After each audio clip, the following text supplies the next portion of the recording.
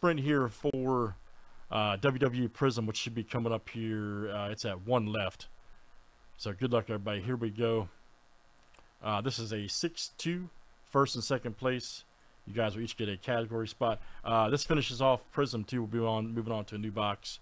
So good luck. One, two, three, four, five, six, seven. And we're off tonight.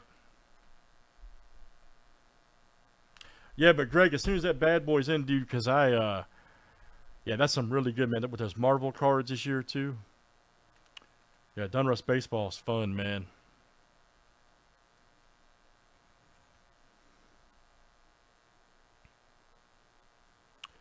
All right, we got a good race here. Who wants it? Uh oh Alberto Billy, neck and neck. Look at this.